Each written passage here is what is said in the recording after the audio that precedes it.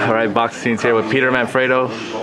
First off, um, what are your thoughts on the stoppage with your fight with Chavez? It seemed a little bit quick. Yeah, it was quick, but it is what it is. But again, this is boxing. Um, and I had a good career, I had a good run, and that's it for me.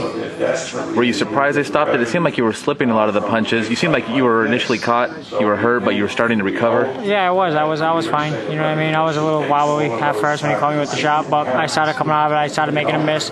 Kind of, kind of reminded me of the Calzaghe thing.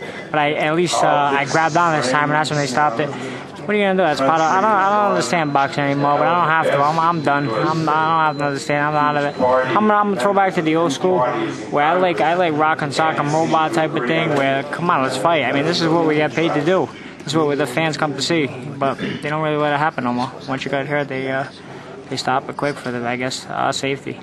It seemed like you were having your best round of the fight up until you got caught with that punch. Um, Elang, he didn't only land but maybe one or two punches before that, and you were really hitting him. What happened? He just caught you, or?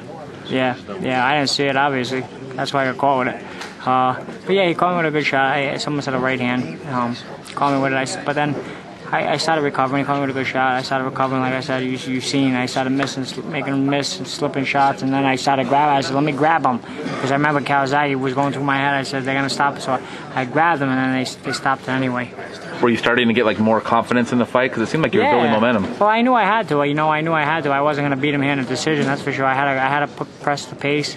I had to push it in, and I had to take more chances. And I, by taking those chances, that's what got me caught with a shot. I think, but that's a shot I took. You know, I, I knew I was coming in here with my, my back against the ropes. I had to take chances to win. Were you coming in thinking you had to knock him out? Yeah, to win in Texas. Definitely, definitely. You know, this is his home away from home. You know, not just knock him out, but do- or dominate him. And I knew that's why I had to, you know, put the pressure on him, go after him, and uh, take chances and take shots. And that's what I did tonight. Were you surprised by his power? I was. I was. I didn't think he hit that hard. He hit pretty hard. Not as hard as Sakio Bika, but yeah. He hit pretty hard. And you said that if you lose, this is probably it for you. Is that definite? Yeah, I'm done. You know, I got a beautiful wife, a beautiful family. I'm gonna go enjoy them now.